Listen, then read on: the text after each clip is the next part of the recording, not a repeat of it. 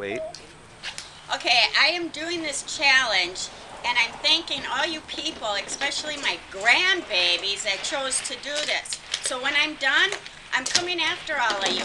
But I nominate Mamie Kaiser, Patty Bransky, Julie McGuanago,